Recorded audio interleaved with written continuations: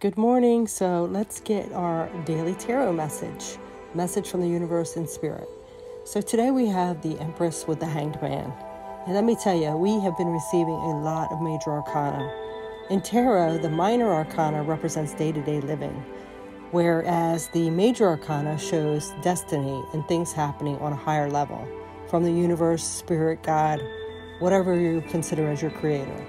The minor arcana shows that you yourself or us can change things, where the major arcana shows the universe or spirit is controlling things that you have to go along with, whether that is positive or negative.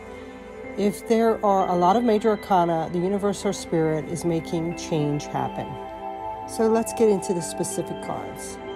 So we have the Empress, which is femininity, nurturing, beauty, nature, and abundance. Uh, she is deeply embedded in our feminine side.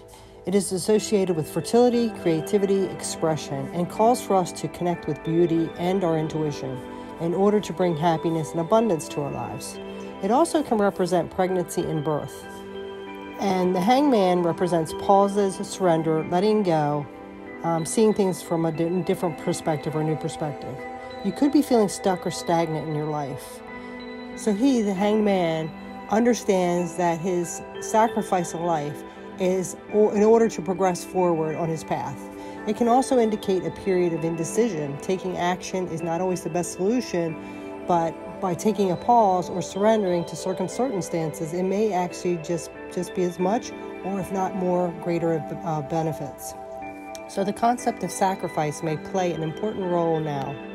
And we all know sometimes when we're on the wrong path and we keep pushing at it, the universe or spirit will bring in that tower moment and remove it and almost to a violent way. So, so, um, so this is an important role right now to sacrifice, to hold back.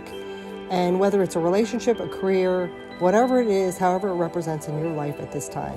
So taking a step back can be a process of realigning on your path to something more fulfilling.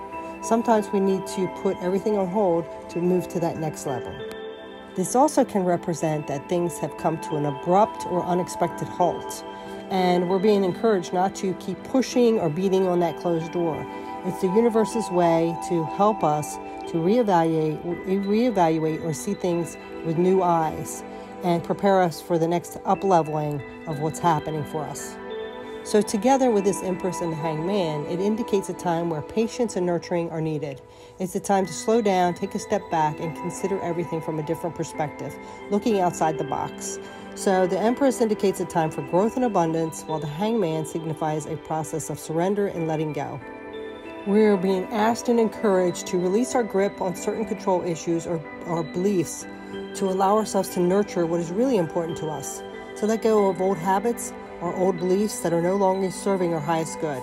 And with the Empress, you can uh, tap into your potential and move forward with grace and ease, while the Hangman reminds us to see things differently and trust that things will unfold in their own time.